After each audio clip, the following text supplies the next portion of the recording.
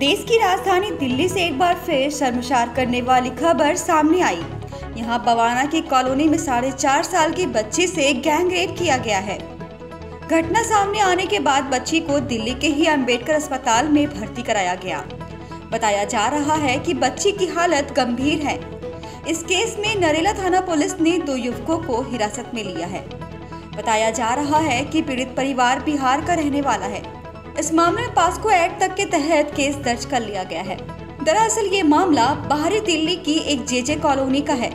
यहाँ साढ़े चार साल की बच्ची जब मंदिर में गई तो वहाँ तीन युवकों ने उसे उठाया और एकांत जगह जाकर उसके साथ गैंग रेप किया। बाद में बच्ची गंभीर हालत में मिली, फिर उसे अस्पताल में भर्ती किया गया। ये घटना 4 नवंबर की है, जिस दिन बच्ची अपनी माँ के साथ मंदिर गई थी। लेकिन वहाँ मौजूद कुछ युवकों ने उसे पैसे देकर कुछ दूरी पर सामान लेने भेजा। इसी दौरान बच्ची के साथ हैवानियत की गई। आपको बता दें कि इससे पहले भी दिल्ली में हाल ही में एक मामला सामने आया था, जहाँ नाबालिग लड़की के साथ रेप किया था।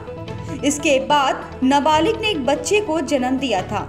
जब रेप का खुलासा हुआ तो पुलिस ने मामले की जाँच की और एक बुज़ुर्ग को गिरफ़्तार किया। Bureau report, IPN.